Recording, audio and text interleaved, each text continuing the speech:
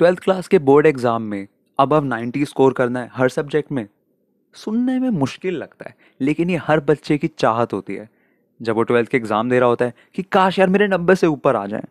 ये बहुत ईजी है, सच बताऊँ तो। सिर्फ़ पाँच टिप्स हैं ये करने के लिए, जो इस वीडियो में आपको पता चलेंगी। Tip number one go through the entire syllabus prepare as per the weightage distribution बच्चे सिलेबस आधा करके जाते हैं, सबसे पहले तो। कम करते हैं। कि यार चलो जितना पढ़ रहे हैं, पास ऑन लाइक पढ़ जाएँगे, फिर तो नाइन्टी आने ही नहीं आपके। आपका एंटायर सिलेबस आपने पढ़ना है। You don't have to leave even one chapter at least एक भी नहीं आपने छोड़ना। सारे करके जाओगे। वेटेज डिस्ट्रीब्यूशन देख लो, अपने टीचर से पूछ लो सी e की वेबसाइट पे देख लो, कि कौन सा चैप्टर कितने मार्क्स का आता है। उस हिसाब से प्रिपेयर करो। कि अगर एक चैप्टर दस मार्क्स का आ रहा है तो उसको थोड़ा उसको ज़्यादा ध्यान दो उसके ऊपर, बजाय उस चैप्टर के जो पाँच मार्क्स का है। उस पर डबल ध्यान दो दस मार्क्स वाले पे। क्योंकि जब तक आपने एंटायर सिलेबस नहीं पढ़ा होगा एटलीस्ट वंस आप नाइन्टी से ऊपर ला ही नहीं सकते।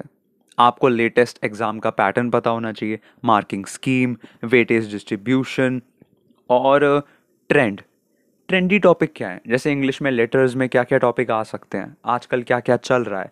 What is the current affair ये सब, उस हिसाब से प्रिपेयर करो।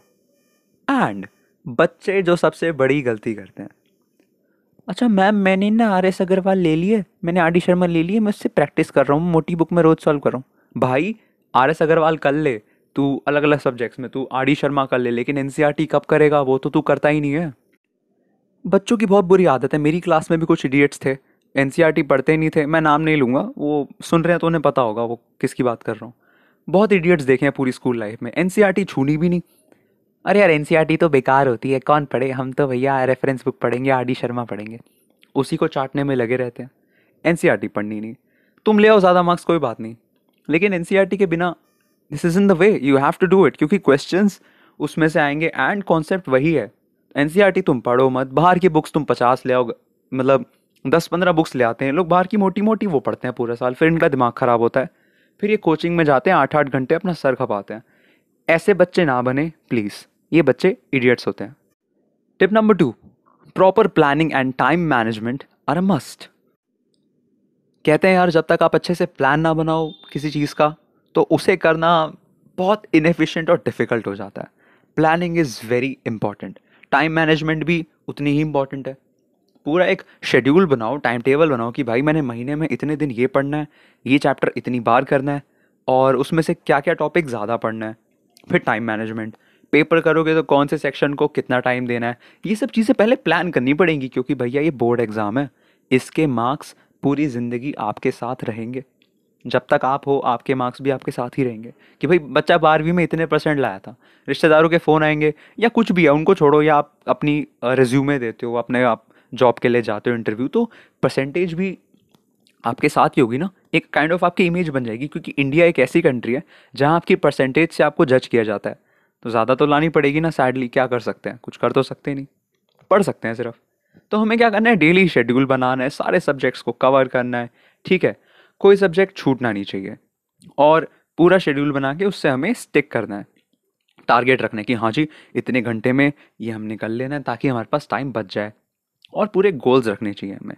टाइम यूटिलाइजेशन नहीं किया तो फिर यही बच्चे होते हैं, तीन घंटे के एग्ज़ाम में, ढाई घंटे में इनका आधा पेपर होता है और लास्ट के पंद्रह मिनट में ये भगाते हैं, फिर ये कीड़े मारते हैं। मीन्स राइटिंग इनकी गंदी हो जाती है और रिविजन के लिए ज़ीरो सेकेंड्स बचते हैं इनके पास। ऐसा नहीं करना है। Tip number three solve previous papers and take mock test ये एक बहुत बहुत अंडर टिप है। बच्चे इसको इग्नोर करते हैं, भूल जाते हैं। ऐसे टिप जो कोई इतना ध्यान नहीं देता है वो सोचते हैं, कौन करे अब पिछले साल के? टाइम का है हमारे पास? हम बुक के कर लेंगे? नहीं। पिछले साल के पेपरों से पैटर्न पता चलता है कि मान लो थर्ड क्वेश्चन में हर बार ग्राफ का आ रहा था। हर साल तो इस बार भी ग्राफ का ही आ सकता है। यानी हमें आइडिया तो लगा कि थर्ड क्वेश्चन ग्राफ का आएगा। उस हिसाब से काम करेंगे टाइम मैनेज करेंगे और ग्राफ वाला ज़्यादा प्रैक्टिस कर लेंगे क्योंकि हमें पता है, अरे थर्ड में तो ग्राफ आ रहा है। एटलीस्ट आइडिया तो लगेगा। मॉक टेस्ट दो ऑनलाइन इतनी सारी वेबसाइट्स है, अपने किसी फ्रेंड से कहो हाँ जी, तू मेरा टेस्ट ले, जरा स्टॉप वॉच लगा। किसी फ्रेंड से हेल्प लो यार फ्रेंड से आप सिर्फ़, या आजकल के बच्चे हुक्के शुक्के तो पी लेते हैं मिलके, ये सब चीज़ों में हेल्प ले लेते हैं हाँ जी, जरा स्कूटी ले घूम के आते हैं। लेकिन असली कामों में आप लोग हेल्प नहीं लेते, कि जरा मेरी थोड़ी पढ़ाई में हेल्प करा, मुझे समझा, मैं तुझे समझाता हूँ। No people don't do this any तो क्या है हाई स्कोरिंग के लिए आपको एग्ज़ाम पैटर्न पता होना चाहिए ओके पेपर सॉल्व करो, पुराने, पिछले दस साल के पेपर सॉल्व कर जाओ। आई कैन गारंटी आप नाइन्टी से ऊपर लाओगे पिछले दस साल। टिप नंबर फोर अपनी ताकत और अपनी कमज़ोरियाँ पता होनी चाहिए। You should know your strengths and weak areas focus on strengthening your weaknesses जो आपकी वीकनेस है उसे अपनी स्ट्रेंथ बना लो, लेकिन अपनी स्ट्रेंथ को अपनी वीकनेस मत बनने देना, उसे कम मत होने देना। थोड़ा सा सेल्फ इंट्रोस्पेक्शन करो। ट्वेल्थ की पोएम है ना keeping quiet by Pablo Neruda उसने भी तो उन्होंने भी तो यही पोएम में कहा है इंट्रोस्पेक्ट करो। आप क्या कर रहे हो? ज़रा झांको अपने अंदर, ज़रा देखो। क्या आप सही चीज़ कर रहे हो? अपनी स्ट्रेंथ पहचानो, अपनी वीकनेस यार, मैं लेटर बहुत अच्छा लिखता हूँ इंग्लिश का तो पहले मैं लेटर कर लूँगा। बेस्ट या मैं उसे लास्ट में कर लूँगा, उस हिसाब से प्लान बनाओ कि लेटर में तो मेरे बहुत अच्छे मार्क्स आने या लिटरेचर में खींच लूँगा बढ़िया। या फिर मैं ग्राफ के क्वेश्चंस बढ़िया करता हूँ। या मैं जर्नल लेजर्स बनाने में एक्सपर्ट हूँ तो अपनी जो स्ट्रेंथ है वो पहचानो वीकनेस यार, मुझसे लिनियर इक्वेशन नहीं होती कैलकुलस में प्रॉब्लम है। वीकनेसेस पहचानो।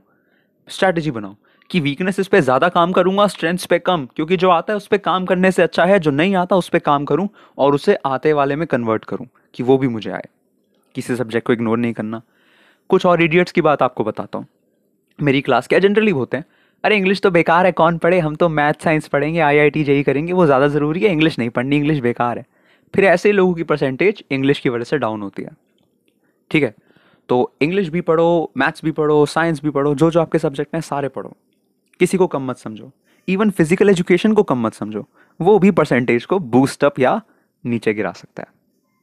Last step tip number five tips for students to do well in the board exams last tip में थोड़ी जनरल है कि जब आप पेपर करो टाइम मैनेज करो सेक्शंस को देखो, कौन सा पहले करना है एंड हैंड राइटिंग साफ़ रखनी है फ़र्स्ट पेज बहुत सुंदर रखना है, बाकी पेज भले ही कम सुंदर हो। क्योंकि इंप्रेशन यार फ़र्स्ट पेज से ही पड़ता है एग्जामिनर पे। तो वो आगे भी आपका पेपर खुशी खुशी स्माइलिंग वे में चेक करेगा। क्योंकि आपको नहीं पता ना पेपर कौन चेक कर रहा है, आपकी क्लास टीचर तो है नहीं या स्कूल की तो है नहीं। बोर्ड एग्ज़ाम है, कोई भी कर सकता है, उसका मूड कैसा है, वो घर पे अपने पति से या अपनी वाइफ से, अपने सास ससुर से लड़के आया यू डोंट नो मैन वो घर पे बर्तन तोड़ के आया होगा, लेकिन आपका पेपर देख के उसका मूड खुश हो जाना चाहिए। ऐसे वे में पेपर लिखो कि देखते ही वो मुस्कुराने लगे कि इतनी प्यारी राइटिंग अरे बच्चे में कुछ तो बात है। क्या आंसर लिखें? स्वाद आ गया। ऐसा पेपर करो। पूरे क्वेश्चन पेपर को रीड करो। पंद्रह मिनट जो मिलते हैं ना उसमें उसमें या तो आप पैसेज के आंसर मार्क कर सकते हो या पूरा पेपर रीड कर सकते हो जैसे योर चॉइस वो पर्सनल प्रेफरेंस है। मैं तो पर्सनली आंसर्स फाइंड करता हूँ रीड बाद में करता हूँ क्योंकि मैं यू नो जनरली मैं इतनी प्रॉब्लम आती नहीं पेपर्स में। एंड यस yes, जो क्वेश्चंस आते हैं उन्हें पहले सॉल्व करो जो आते हैं। नंबरिंग का ख्याल रखो स्किप मत करो गैप छोड़ दो लेकिन यू you नो know, एक के बाद कोई दूसरा नहीं। कंटिन्यूएशन रखो एक पैटर्न रखो and you will do well कोई प्रॉब्लम नहीं है, हुआ नहीं है, डरना नहीं है वेरी इजी हर कोई इससे गुजरता है और आप भी गुजरोगे एक टाइम पे। एंड यस लास्ट में you have to revise at least thrice तीन बार ही रिविजन करो, इतना टाइम रखो कि तीन बार ही रिवाइज हो जाए। आप ढाई घंटे में ख़त्म करो, कोशिश करो ख़त्म हो जाए। आधे घंटे में यू नो बैठो चिल करो या दो घंटे चालीस मिनट में ख़त्म कर लो लास्ट में रिवाइज करो। एंड फाइनली क्योंकि एग्ज़ाम्स लाइफ लॉन्ग आपके साथ मार्क्स आपके रहेंगे तो अपना बेस्ट दो हंड्रेड एंड ट्वेंटी परसेंट दो अपना, ठीक है? तो इसी के साथ ये पाँच टिप्स यहीं समाप्त होती हैं। उम्मीद करता हूँ मदद मिली होगी। Well let me know down in the comments below thank you for watching